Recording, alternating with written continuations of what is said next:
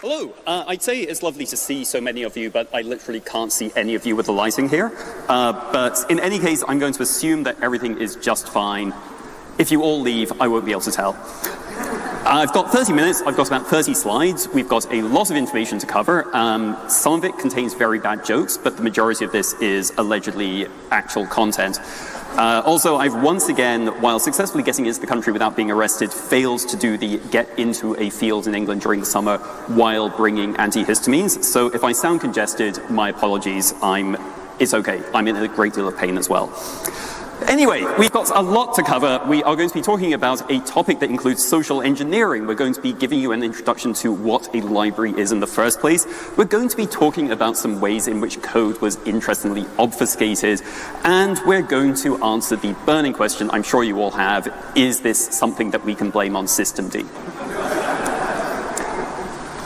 XZ, XZ, whichever, I'll let you choose, uh, is an implementation of the LZ, LZ MA compression algorithm, which was invented back in the 90s. It's a reasonably modern compression algorithm. Uh, one of the things that is key to LZMA is that it is a lossless compression algorithm, whereas most modern compression algorithms, stuff like H.264, stuff like MPEG-2, whatever, those things, they compress a file, some data, into something smaller by throwing some of it away and making calculations based on how humans perceive things.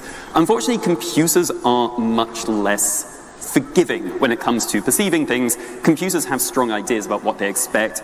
And so when we compress data that's going to be used by a computer, we normally want that to be lossless. We want the output of the decompression to be identical to whatever went into the compressor. And it's been kind of less exciting pro uh, progress in that field since the 90s. So stuff that was state of the art in the 90s is still relatively modern now. It takes a while until stuff really gets implemented. So XZ is an implementation of the algorithm. It's a set of tools that you can use to compress things, to decompress things, but it's also a library that can be used by other things Many components of Linux make use of this in order to perform this compression and decompression. But first, if we're going to talk about libraries, we want to know what a library is.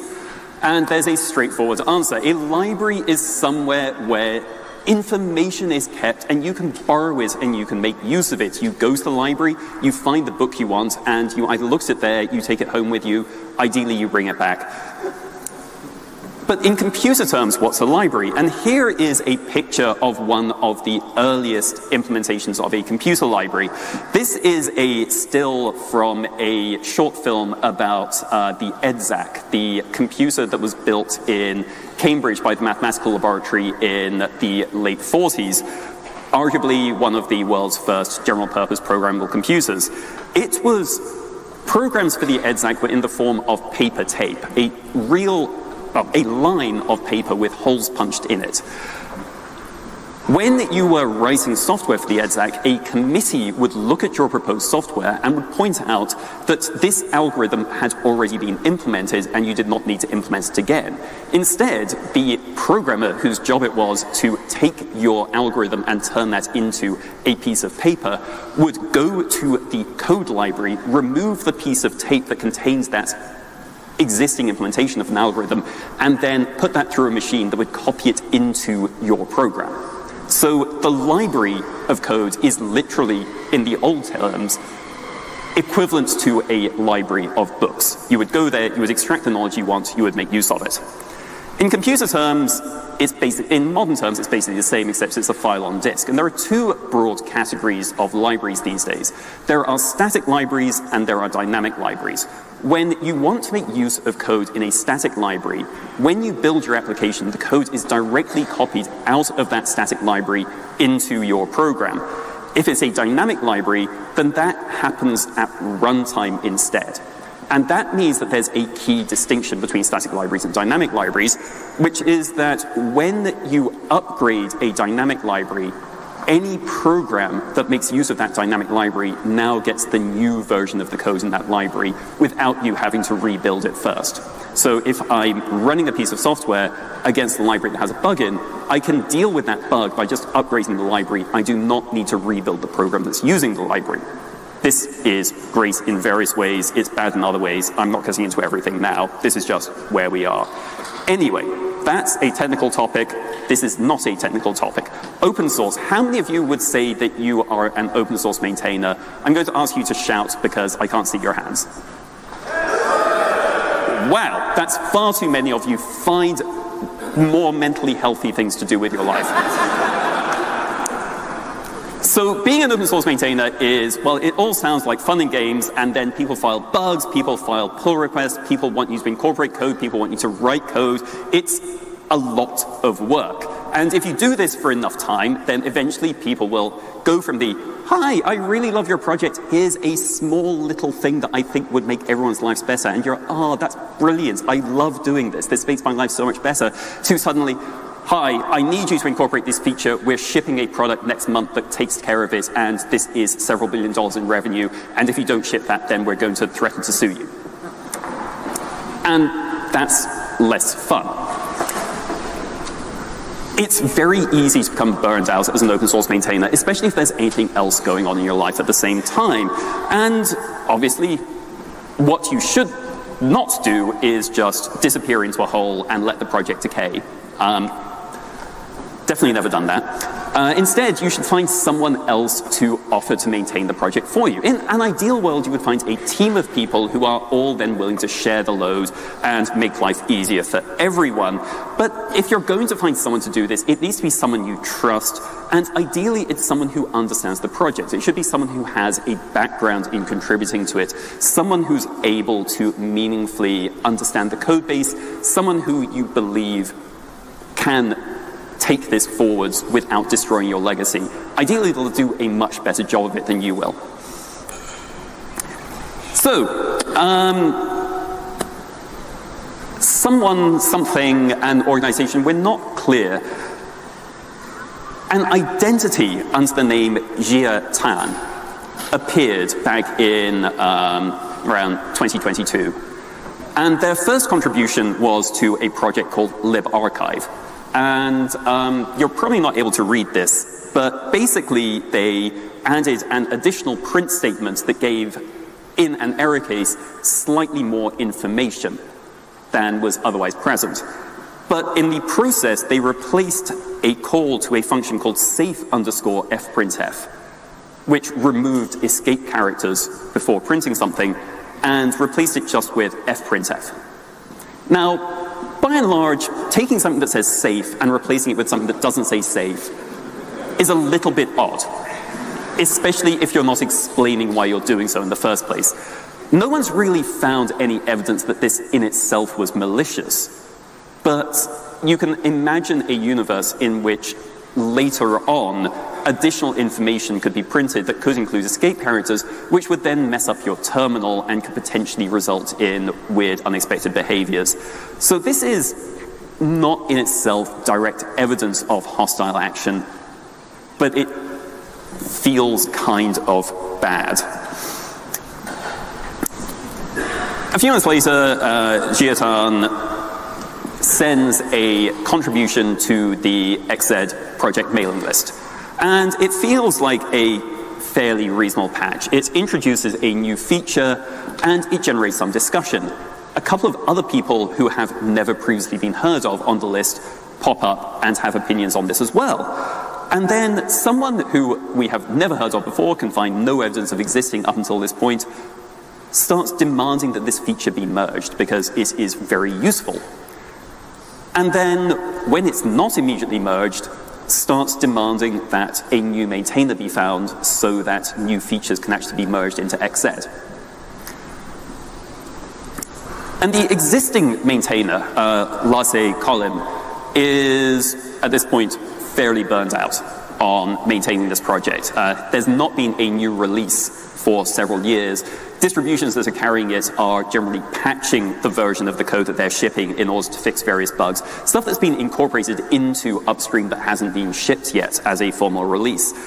And Jia communicates with Lasse, there appears to be a fairly good amount of uh, technical discussion, and various patches that are authored by Jia are merged by Lasse. Um, so this is at the point where we now have someone who we previously never heard of, but has built a good, functioning, social, professional relationship with the existing maintainer and is now able to, without too much difficulty, have their code merged into the project. But at this point, it's still going through someone else first. Until we get to January 2023, at which point it is already possible for Jia Tan to merge code directly. They are now a maintainer of the project. They do not need to ask for anyone else's approval before they can merge code. We now have another person, um, Hans Jansen. Um, again, no evidence of this person existing before this point, uh, no evidence of this person existing after this point either. Hans adds a feature to XZ, which is intended to improve its performance. Now, the GNU C library, I'll get to this in a moment, has support for using different implementations of functions based on various factors, and we'll get to why in a second. And Hans has an implementation that makes use of this and asserts that he has a he, they, she, we don't know. Um, no evidence of the actual human associated with this. But this test case apparently improves performance by 4 to 5%. And this is enough to convince Lasse that this is something worth pursuing, and Jia merges this. Hans does not interact with the XZ community again, but does file various bug reports inside Debian asking to upgrade various features before, uh, various packages before the next release, and one of those is XZ. So an ifunc, um, different CPUs have different characteristics. They go fast in different ways. Something that goes fast on one CPU does not necessarily go fast on all CPUs. And even within a model range, this may be the case. What is ideal on a specific Intel CPU is not necessarily ideal for another Intel CPU, let alone on AMD, VIA, anything else. And once we start getting into PowerPC, once we start getting into ARM, it gets even more complicated. But you don't want to have to build a separate copy of your code for every single CPU that it could conceivably run on. So what do you do instead? The answer is, in your code, you put all the optimized versions, and then at runtime, you choose which of those to use. Now, in the old days, those of you who are familiar with C, you would think, well, okay, the straightforward way to do this is with a function pointer. You have a variable inside the code, and when you load the code, you check what CPU you're running on, you decide which version of the function is going to be fastest, and then you set this variable to point at this code, but that's um, the correct version. And then when you want to execute that function, you look up the value of the pointer to that code in this variable and execute that. That works perfectly, but it means there's an indirection in the execution of that call, and that slows things down slightly. The idea of an ifunc is at startup, the runtime dynamic linker, the thing that is responsible for taking the code in a dynamic library and integrating that into the application that you are starting, will execute a function inside the library that will tell it which version of a function to use, and will then point, will integrate that version into the running code. And this allows you to have the same degree of choice. You choose the correct version of this function for the CPU you're running on without the performance overhead of a function pointer. So this sounds great. Uh, so using ifuncs rather than function pointers, Hans asserted gave you a 45% performance benefit. This will become important later. There's a few things that ifuncs have difficulty with. They, um, they don't integrate well with some debugging parameters that are often used by fuzzing programs uh, Clang, the uh, LLVM-based C compiler, sees that a function is defined, but that function is never directly called because the runtime dynamic linker does magic. And Clang is, hey, there's a function here that's never used. Is that deliberate? They're not big issues. Um, the failure for the fuzzer to work with ifunc things is expected due to how OSS fuzz works. Clang complaining about this was a bug, but it's basically cosmetic Jia Tan submitted patches that rectified these things, so that all seemed fine. Uh, there's not a uh, to be clear, these patches were fixing legitimate issues. These made it less obvious that anything weird was going to be going on, but the issues that the patches that Jia Tan submitted for these were fixing genuine issues. Move forward to February 2024, and this is where a backdoor is inserted in an incredibly devious manner. Two new tests are added, and two new test files are added for these tests to make use of. Both of them are intended to exercise failure modes that were not previously tested for. One is a compressed file that ends unexpectedly. One is a compressed file that has allegedly garbage data inserted into the middle of it. You can't extract either of these files directly because they're corrupted files. It's expected that trying to extract them fails, and these tests are allegedly introduced such that you can make sure that they fail in the expected way with the expected error message. Unfortunately, the data within these files is not random test data. It's actually encrypted code. Let's go off on a tangent for a moment. Um,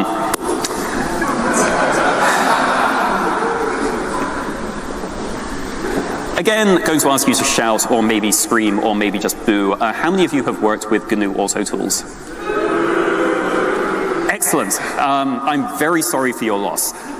AutoTools is a suite of utilities that basically uh, results in, uh, if those of you who have built software on Unix type operating systems where you type dot slash configure and then it prints stuff like checking whether 2 plus 2 equals 4 and checking whether your computer was made after 1947, that's AutoTools. AutoTools is a way for you to test for the functionality available on the system so that you can nominally build more portable code.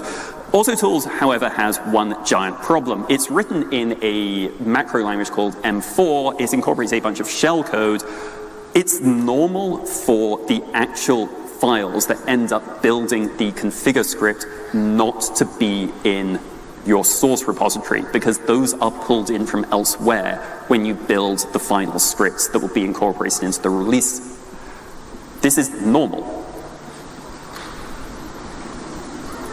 What happened in this case was that one of the files that is incorporated when you're building the release did not come from the expected upstream source, but instead had some extra code added into it. And this code, when run, would check whether you were on a Debian or Fedora-based system, and if so, would then extract another script from one of the test data files, which would then extract another script, which would then extract and decrypt the actual payload. And the actual payload was a .o file, a chunk of compiled x86 code. Now, the decryption is interesting because at this point it's having to do all of this in shell. Uh, so what this does is implement the RC4 encryption algorithm, which is not a modern good encryption algorithm. It implements it in awk.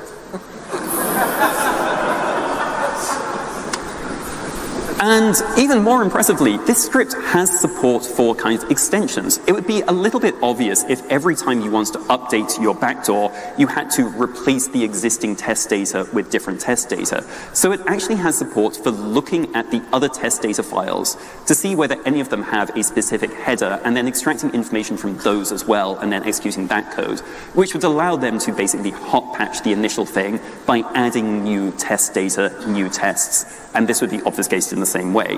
Anyway, in the end, it ends up producing a .o file, which is dropped into the build directory, and then that file is linked into the final library instead of the file that is created by the compilation process. So you now have a libxz that contains this backdoor, and this is where we go back to ifunc. When you start an application that is linking against a library that has ifunc support, the runtime dynamic linker executes, executes a function in there, in that library, which is intended to allow it to um, give back a pointer to the preferred implementation. And this is called twice. This is called for CRC32, this is called for CRC64. So uh, cyclic redundancy checks, 32-bit implementation, 64-bit implementation. And that function has a counter in it. The first time it's called is for CRC32 and it does nothing. For CRC64, it checks whether the content of argv0, that is the name of the process, is user sbin sshd. And if it is, it walks through the list of imported functions and it replaces RSA public decrypt with a function that is in the backdoor file instead. Except it's not actually that easy because RSA public decrypt is, in, is not in SSHD itself, it's in libcrypto. And you don't know in advance what order libraries are going to be executed in. So libxz could be imported before libcrypto, and in that case, RSA public decrypt isn't there yet. So to deal with this, the function installs a hook. The runtime dynamic linker has support for you asking it to audit certain things so that information could be put into audit files. You could use it for debugging purposes, you can use it for security purposes, but basically that means that every time a certain feature is called, it will call back into the function that you registered as a hook here. So it installs an audit hook, and every time a new library is loaded, that audit hook is executed. And the audit hook scans to see whether the new library that was just loaded added RSA public decrypt, and if so, it replaces RSA public decrypt with a pointer back into the backdoor code. But SSHD doesn't use libxz. Nothing in SSHD ever uses libxz. However, those of you who have used Linux distributions that make use of systemd, which is probably most of you at some point or another, systemd has support for verifying that a process has finished starting up correctly, which allows you to do things like say, I'm not, this thing that depends on this other thing being ready I'm not going to start it until this thing says it's ready. And there's a few heuristics you can use to determine whether something's ready. Like you can wait for it to fork twice. It doesn't always work, because that can mean it's gone into the background. That doesn't mean that it's opened its network sockets yet. It doesn't mean that it's ready to listen for an incoming connection. And if you start something that then immediately attempts to connect, that'll fail. So uh, systemd adds a very simple protocol that allows you to tell systemd, I am now ready to accept incoming connections. I've finished my startup. I am completely running. Things that depend on me can now make use of me. And there's an implementation of this in a library that is shipped with systemd called libsystemd. And that means you don't need to implement this yourself. You can just link against libsystemd and then call uh, SD, notify whatever, and then systemd knows that you're ready to run. Uh, libsystemd has functionality for doing that, but it also includes functionality for dealing with various other things implemented by systemd, which include the compressed journal files that systemd implements, which means that libsystemd itself links against libxz, which means if you link against libsystemd, you then pull in libxz as well. So the distributions that patched SSHD to make use of this systemd functionality then pulled in libxz as well. And unfortunately, this is how the backdoor ends up being able to attack SSHD. Now, the backdoor itself is impressive. Uh, so if an inbound connection comes in and presents an SSH certificate. Now, most connections do not use SSH certificates. They're mostly only used in some corporate environments or various other special cases. But if there's a certificate present, that gets passed to RSA public decrypt. And that code looks to see whether there's a special header inside the SSH certificate. And if so, it interprets the N value, that is the, the prime number that makes up the RSA public key. Interprets that as a payload, as opposed to an RSA key. And the payload is cryptographically signed. It verifies that this payload is signed with a private key that is not present in the backdoor, which means even though we now know basically how the backdoor works, no one else can do anything with it because we don't have the private key that, it's, that these signatures are signed with. The other interesting thing is that the payload is specific to the target. Some of the signed material includes the hash of the SSH host key. And this means that they could produce payloads that could only be used against a specific machine. And that's kind of important if you're a malicious actor. It means that if someone is able to intercept one of these payloads, they can't use it against any other targets because it only works against that specific machine. Which means the attackers retain control of this forever. Now, the function that does the lookups to see whether RSA public decrypt is there takes some time. It was not implemented in a particularly ideal way. And that took time, which means CPU usage. Uh, those of you who have ever run a system that's on the public internet, you've probably seen that you get a lot of traffic telling you that um, you're rejecting a lot of SSH login attempts every second. Uh, backdoors SSH means more background CPU usage because every time a new SSHD is spun up to handle the new incoming connection, the backdoor is loaded again, and that takes about half a second.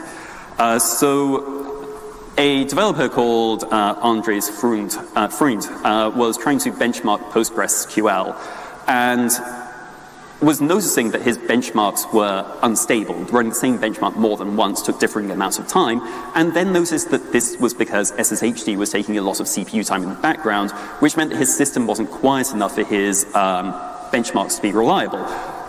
We got extremely lucky, firstly, that he noticed this, and secondly, that he decided to dig into what was going on there. In terms of timing, um, this landed in Debian testing in time for it to be automatically pulled into Ubuntu 24.04, which was going to be the next long-term support release of Ubuntu.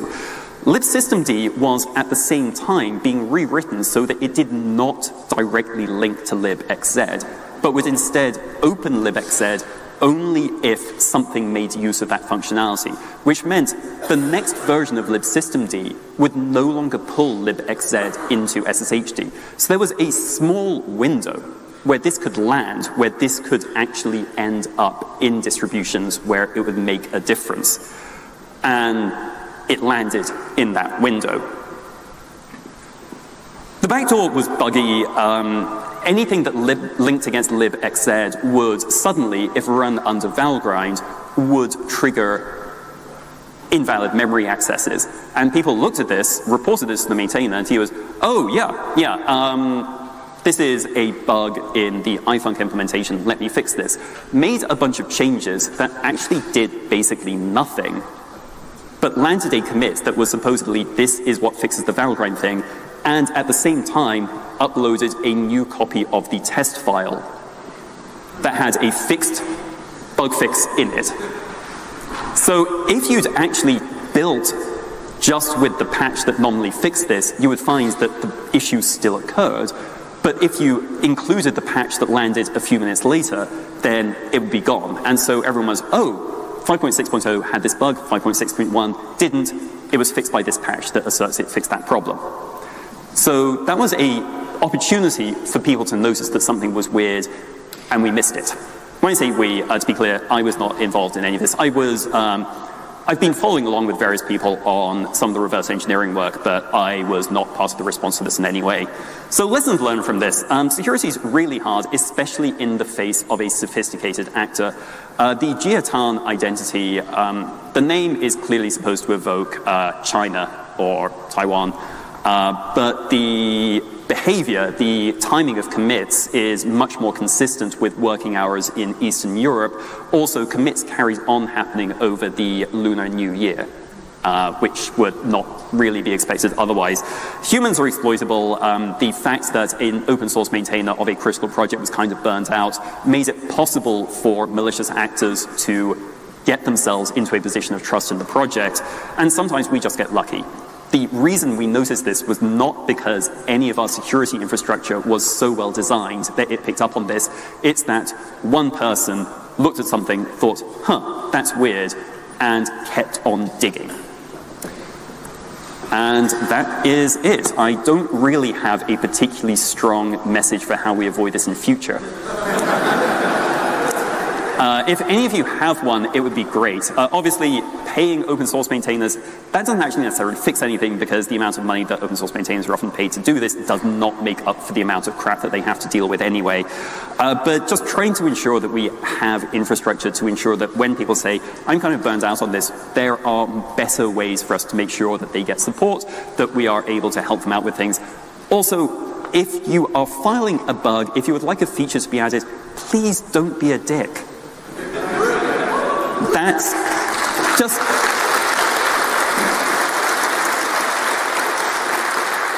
the single biggest thing we could probably to do, do, to improve the health of uh, mental health of open source developers to reduce the risk of this kind of thing happening in future is just to ensure that we do not allow this sort of abusive behavior to occur in communities without just stepping up and saying, this is inappropriate, please do not act this way, and make it clear that we are there to support the maintainer rather than the person behaving in this way. Anyway, thank you very much.